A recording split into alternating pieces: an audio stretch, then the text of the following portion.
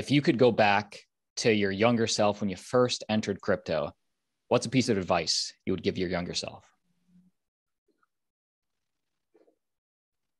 you should have bought that ape. Me too. And you Relatable. probably, yeah, the punks, okay, there was a few, but the apes felt overpriced and they weren't, as and, and, and how does that translate, you know, some something practical that, you know, is that you telling yourself be more open-minded or look for the trends harder?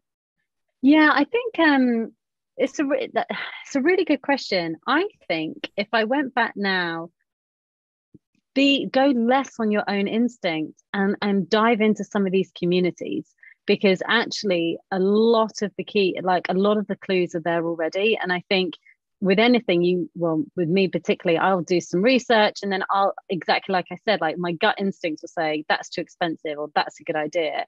And actually there is no gut instinct in a space that's brand new. That's ridiculous. Like there's there's no precedent for what's going on. So the best thing you can do is go and listen to an ama with the founder. Go in you know nowadays like you can dive into the twitter spaces you can join the discord and just get a sense of what's going on there. And then you're i think far better equipped i'm very um i'm very skeptical on you know i come from a brand you know messaging you know i've done a lot of product design proposition design. I know how to write something right?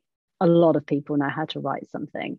And i think there's like the art of a beautiful website and a really nice white paper with a load of fancy charts on it and a nice roadmap and all the caveats that come with it. They're great and if i was looking to raise money that's interesting that you can put together a pitch deck. But what are the people on the ground saying? What are the current holders saying? What you know how many people are joining that discord? What is the growth rate looking like? How many partners are coming on board? You can tell a lot about people with people that they work alongside.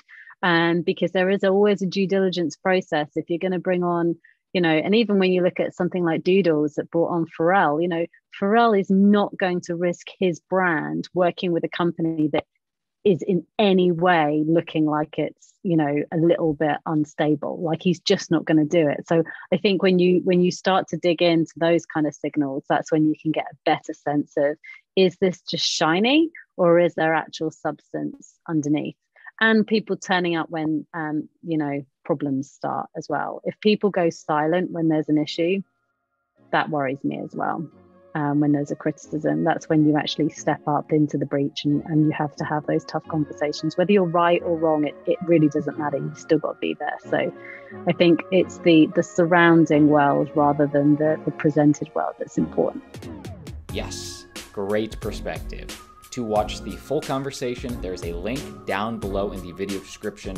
And if you're interested in learning more about cryptocurrency, click subscribe. We drop a video every single day. You do not want to miss one. See you tomorrow.